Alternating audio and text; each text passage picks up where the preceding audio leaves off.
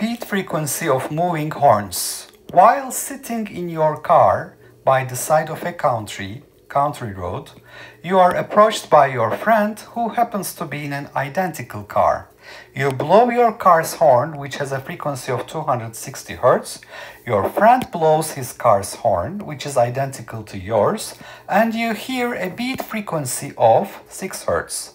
How fast is your friend approaching you?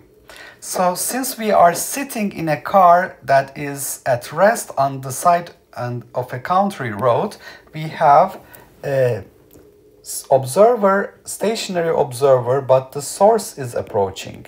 So the source is approaching observer. The source is approaching the observer.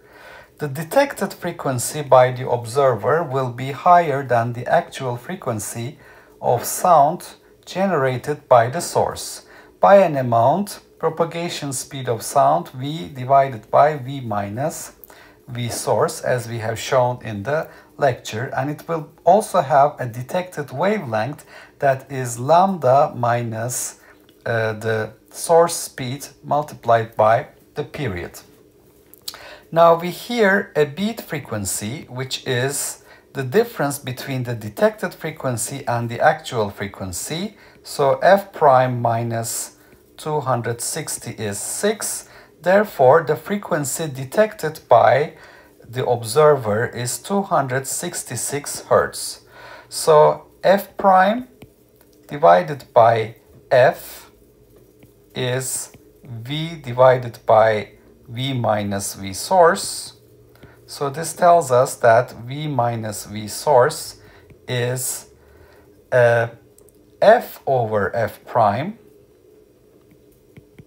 multiplied with f.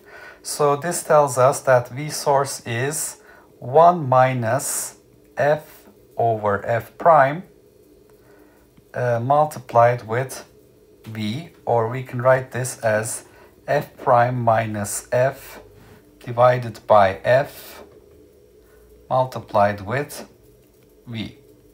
So that's the uh, speed of the source. So if we can write this as speed of the source is equal to the beat frequency delta f divided by uh, f prime. f prime minus uh, f over uh, f prime is what we have here. F prime minus f over f prime. So delta f over f prime multiplied by the propagation speed of uh, sound. So this is how we calculate the speed of the source. And the speed of the source, if we plug in the numbers here, is 6 Hertz beat frequency divided by the detected frequency, 266, multiplied by 343 meters per second, speed of sound in air. So we find the speed of the source to be 7.74 meters per second, approaching the observer. So uh, we have taken the speed of sound to be 343 meters per second in air at 20 degrees Celsius.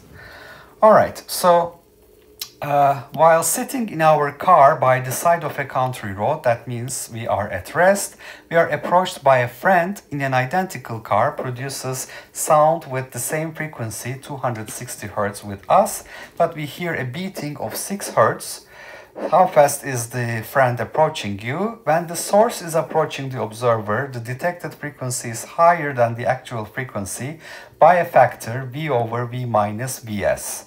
So vs is the speed of the source and the wavelength is decreased, lambda minus vs times t. So frequency increases, wavelength decreases.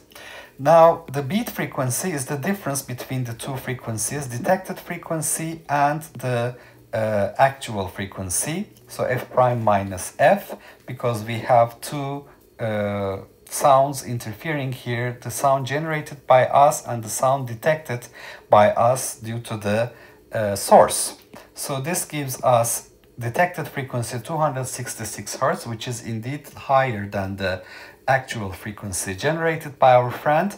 And using this Doppler shift uh, relationship, we can find the speed of sound to be beat frequency divided by detected frequency f prime times v. So if we substitute the numbers, the final answer is 7.74 meters per second.